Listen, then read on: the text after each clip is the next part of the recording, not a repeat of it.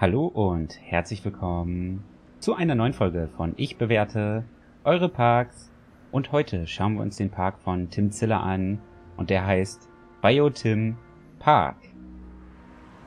Der Park ist auf der neuen Karte Biosyn Valley gebaut und auch mit den neuen Items und Dekoobjekten und Dinosauriern. Oh, das sind sogar direkt Dinosaurier. Homalocephale und äh, Dryos. Natürlich cool hier mit den neuen unsichtbaren Zäunen. Kommt dann so ein bisschen Streichelzoo-Feeling auf. Ich glaube, die sind ein bisschen verbuggt oder so. Es wurden übrigens Mods verwendet. So Freebuild und sowas, also dass man alle Sachen überall hin platzieren kann. Konnte den Park aber auch äh, laden ohne Mods, das war sehr angenehm. Sonst hätte ich euch den gar nicht zeigen können. Ist aber sehr schön hier gemacht mit den verschiedenen Wegfarben und auch den Dekoobjekten. Die neuen Sachen sehen auch echt toll aus. In diesem rostigen Bronze-Look. Oder Kupfer, was auch immer das ist. Ich glaube eher so Bronze, ne? Dann mit dem Bernstein. Ja, mega schön, dass hier überall auch Wasser ist. Und das hier vorne ist auch direkt ein Gehege. Hier ist auf jeden Fall direkt ein Fleischfresser, Futterspender. Irgendwie ist das echt ungewohnt so, wenn man diese unsichtbaren Zäune hat. Schon ein bisschen absurd, wenn man jetzt bedenkt, da ist jetzt auf einmal irgendwie ein T-Rex oder ein Giga oder so hinter. Und dass da ein Zaun zwischen ist. Aber das neue Biom ist auch echt schön mit diesen ganzen umgefallenen Baumstämmen. Und auch die Bäume gefallen mir richtig gut. Wir gehen jetzt aber erstmal, glaube ich, links oder so. Gehe jetzt, glaube ich, erstmal hier lang. Ja, rechts ist auch ein Gehege direkt und links ist halt das Streichelzoo-Gehege, was wir gerade gesehen haben. Da kann man sich auch direkt hinsetzen. Voll cool gemacht. Da hat man dann wirklich eine perfekte Sicht auf die Dinos. Oh, da sind auch noch weitere Dinosaurier. Da renne ich mal ganz kurz hin. Und hier sind noch Stigi-Molovs. Jetzt zieht sogar der Nebel auf. Wie schön. Aber hier rechts hatten wir leider noch kein Glück, was Dinosaurier angeht. Aber es ist halt wirklich so gestaltet, dass man nicht das ganze Gehege sehen kann und dann immer weiterlaufen muss, um dann mehr zu Gesicht zu bekommen. Finde ich gar nicht so schlecht. Da ist auch noch so ein cooler Turm. Da müssen wir dann auch noch reingehen. Das ist halt echt das erste Mal, dass ich einen Park besichtige mit diesen ganzen neuen Gebäuden und Dekosachen. Ich finde auch die neuen Gebäude vom Stil richtig cool. Das sind, glaube ich, die Hotels oder so, ne? Und dann hier die Leute so sitzen. Hier gehen die dann rein.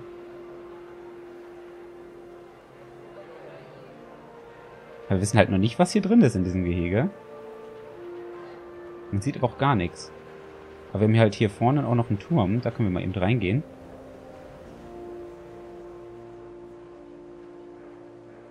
Kann aber nichts erkennen. Ich glaube, hier links ist kein Gehege. Ich glaube, das links ist einfach nur Natur.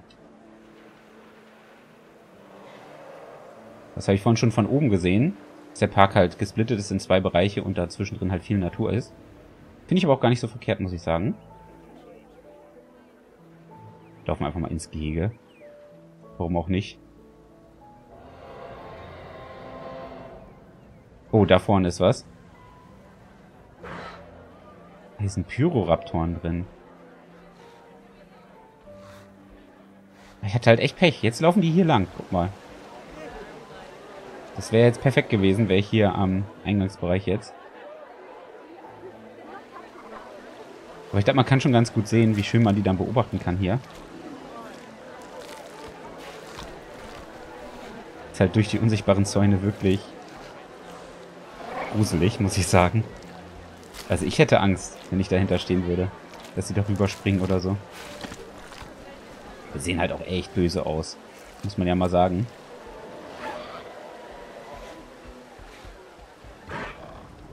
Kann den absenken hier, okay. Kann ich dann da rein, wenn der runter ist, an der Leiter? Bin ich jetzt mal gespannt.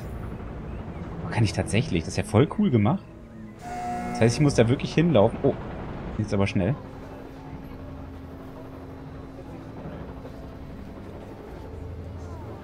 Und dann kann man da unten halt die Pyroraptoren sehen. Das Gitter ist natürlich jetzt perfekt im Weg. Wir können ja wieder runter, ne? Dann geht das doch.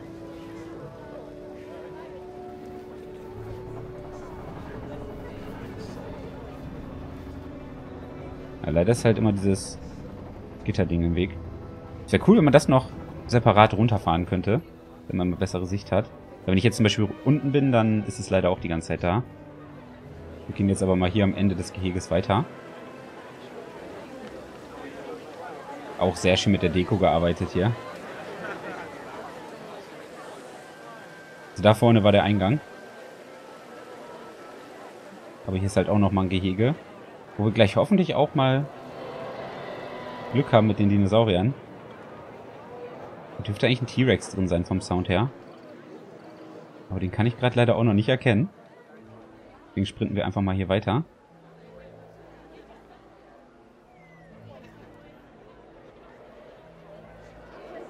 Ist hier links auch ein Gehege? Ah, hier ist auch ein Gehege. Ein Imteri. Aber wieso ist dann hier ein Fleischfutterspender drin?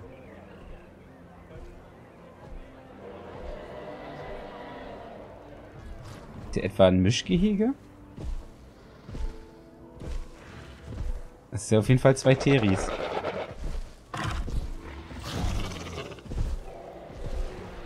Hier kann man wahrscheinlich auch nochmal in das Gehege blicken.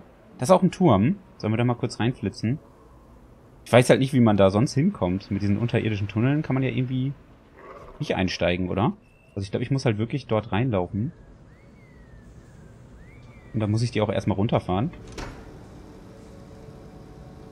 Ich würde sagen, wir machen das jetzt einfach so. Geht's ein bisschen schneller. Mich interessiert halt gerade noch, ob hier ein Fleischfresser irgendwo sich noch versteckt.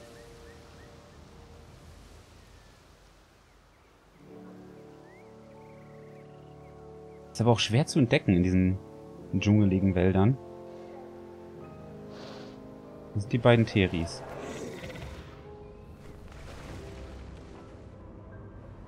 Ich finde das mit den Wegformen übrigens sehr, sehr schön, muss ich sagen. Das hast du sehr sauber gemacht. Aber irgendwie sieht das auch echt cool aus, wenn man den Zaun hier direkt an den Weg macht, so als Abschluss. So ein Bordstein sieht das halt aus. Das gefällt mir echt richtig gut. Hier ist nochmal ein weiteres Gehege.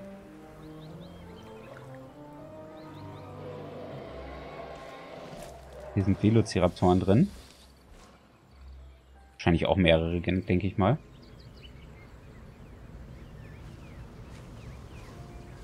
Oh, das ist Blue.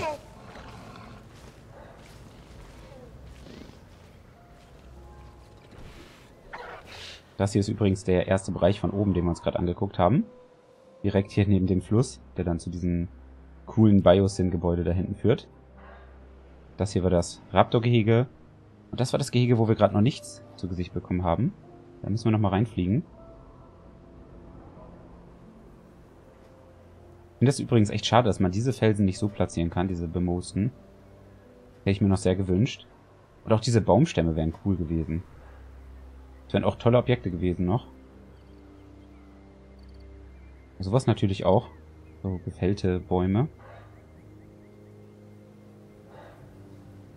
Aber wo verstecken sich denn jetzt hier der Rexy zum Beispiel? Der muss doch hier noch irgendwo sein, den habe ich doch gehört. Müsste vom Sound auch hier gewesen sein. Wo ist der? Das sind halt echt große Gehege und sind halt echt sehr dicht bewaldet. Das ist echt schwer, die zu finden. Ich habe einen gefunden. Direkt am Zaun diesmal.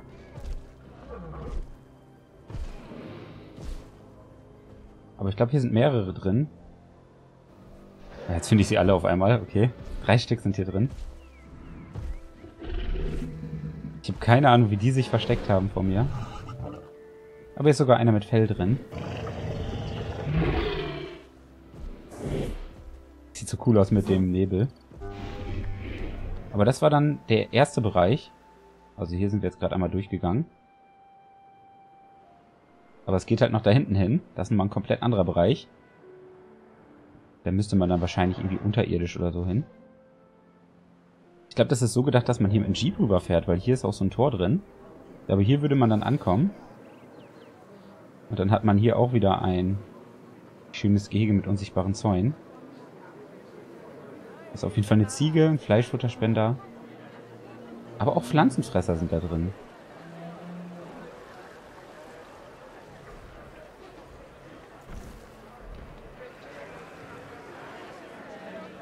Das ist echt alles sehr interessant. Oh, da kommt ja sogar ein Dreadnouctus. Einfach so aus dem Wald.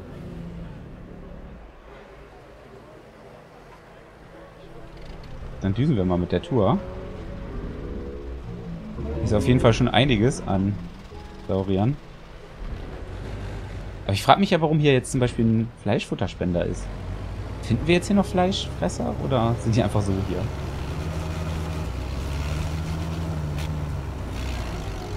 Hier sind überall Fleischfutterspender. Aber ich meine, die waren auch im Teri-Gehege, ne? Deswegen, keine Ahnung. Ist auf jeden Fall auch ein Stego.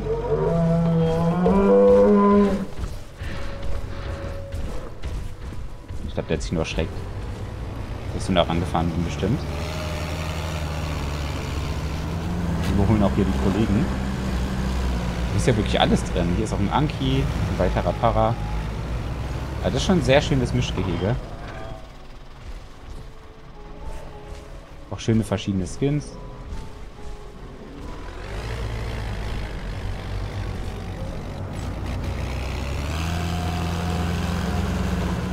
Der Anki da ist auch gut getarnt. Fast aus wie so ein Felsen. Wo er gerade schläft. Und dahinter ist auch noch was. Hier liegt auch noch ein Dinosaurier. Ein Triceratops ist das.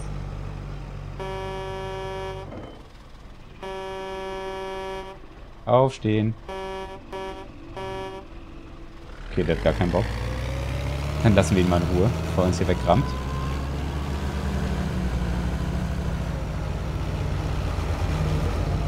Hier ist auch nochmal so ein Turm.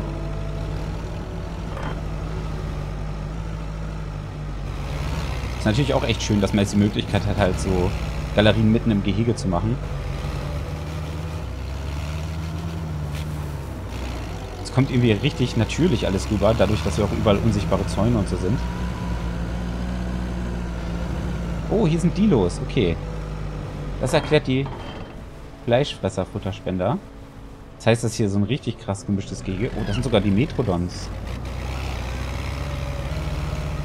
Krass. Viele verschiedene Spezies hier sind.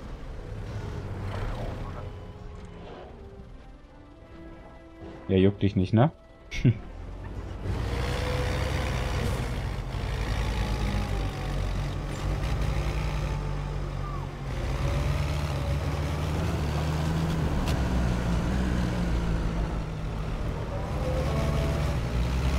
Es wirkt auf jeden Fall sehr belebt.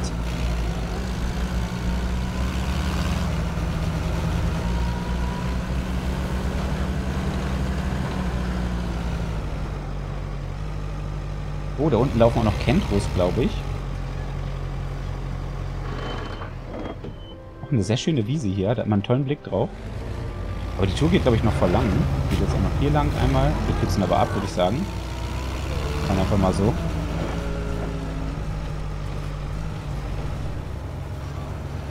dürfte auch der Camp Kreidezeit Kentro gerade gewesen sein.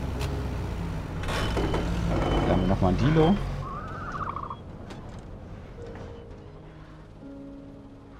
Ein Baumstamm, der mitten auf der Straße ist. Aber ich glaube, der hält uns nicht auf. Ja, da können wir einfach so durchdüsen, das ist ganz gut.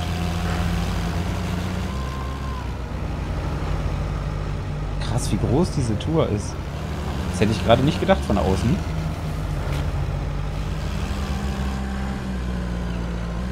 Hier ist nochmal so ein kleiner See. Da hinten sind sogar noch mehr die Metrodons. Kann ich auch mal schnell hin. Vielleicht gehen die jetzt auch fressen, dann können wir die dann beobachten dabei. Sieht ja fast so aus.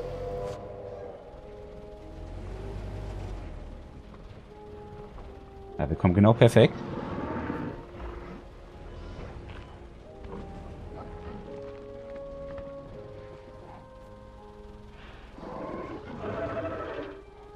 Oh, die reden sogar beim Essen.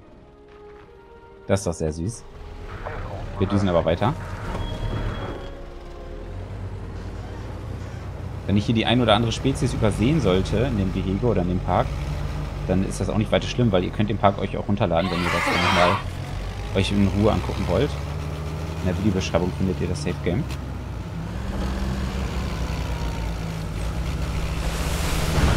Autsch.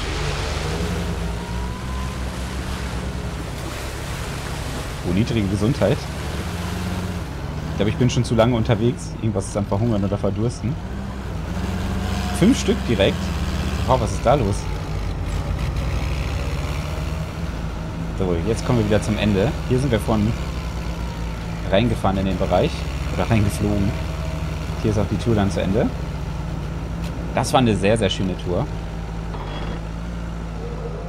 Der ganze Bereich hier links war das übrigens. Also es war wirklich ein riesiges Gehege. Und ich glaube auch noch hier vorne auch noch. Also hier geht's glaube ich links und dann sind wir hier die ganze Zeit rumgefahren. War echt schön gemacht. Eine sehr interessante Tour. Aber wir fliegen jetzt mal hier unten weiter. Denn hier gibt's auch noch weitere Sachen zu sehen. Zum Beispiel auch eine Lagune, auf die wir gerade zukommen.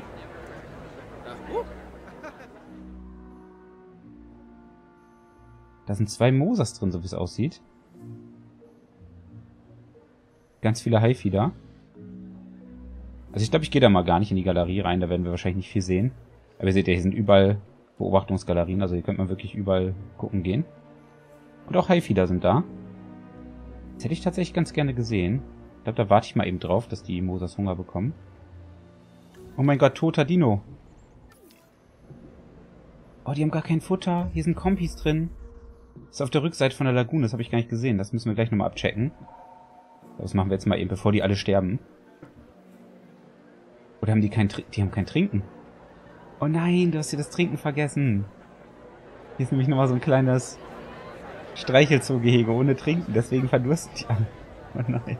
Ich glaube, die sind auch am Verhungern. Okay, wir schauen uns das jetzt auf jeden Fall nochmal an. Hier ist nochmal so ein kleines Streichelzoogehege. Mit Minmis zum Beispiel. Haben richtig viele sogar.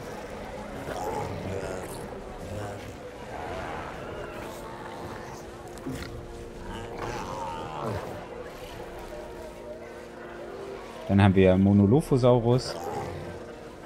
Kompis haben wir hier, ganz kleine rumhüpfen, die gerade schon am Sterben sind.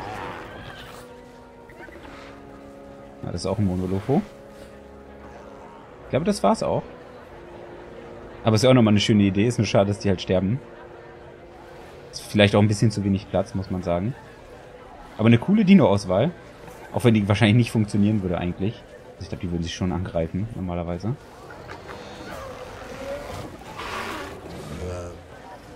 So, kriegen wir es jetzt hier noch zu Gesicht? So, jetzt ist es soweit. Da haben wir das, was wir wollten. Hat er sich einen schönen Hai gegönnt.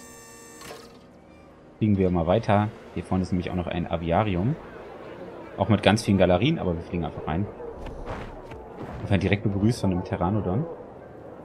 Oh, du hast hier sogar diese Türme reingebaut. Das ist ja interessant. Das habe ich so auch noch nicht gesehen. Ist natürlich auch nochmal cool, ne? Da kann man richtig gut dann die Flugsaurier nochmal beobachten. Aber ich glaube, er ist ein bisschen verwirrt, weil das eigentlich nicht gewollt ist, glaube ich. Also wie der da fliegt, das ist, glaube ich, nicht normal. Ist halt wahrscheinlich mit der Freebuild-Mod einfach rein platziert. Normalerweise geht das, glaube ich, gar nicht. Sind dann hier nur Pteranodons oder auch noch was anderes? Ich vermisse ehrlich gesagt den Quetzer. Okay, ich habe den Quetzer gefunden. Er ist tot. Er ist auch verhungert. Das ist natürlich belastend. Keine Ahnung, warum die alle verhungern. Sind hier auch zu wenig Fischfutterspender wahrscheinlich. Hättest du ja überall noch rein platzieren können. Hier unten sind halt ganz viele. Keine Ahnung, warum der jetzt verhungert ist. Aber kann ich halt auch nicht ändern. Und eine Sache habe ich noch entdeckt. Denn hier vorne in dem T-Rex-Gehege... Oh, ich habe noch eine Mod installiert. Oh nein.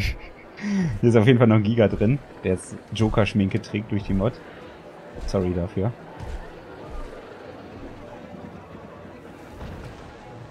Das heißt, der Giga und die T-Rex-Familie, die leben glücklich und zufrieden zusammen.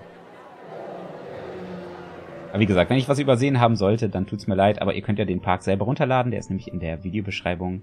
Hat echt Spaß gemacht, sehr cooler Park, lieber Tim. Danke fürs Einsenden. Und falls ihr auch mal einen Park einsenden wollt, dann könnt ihr gerne auch in die Videobeschreibung schauen, da stehen da alle Infos zu. Lasst ein Like da und ich wünsche euch noch einen angenehmen Tag. Macht's gut, haut rein. Euer Dandy.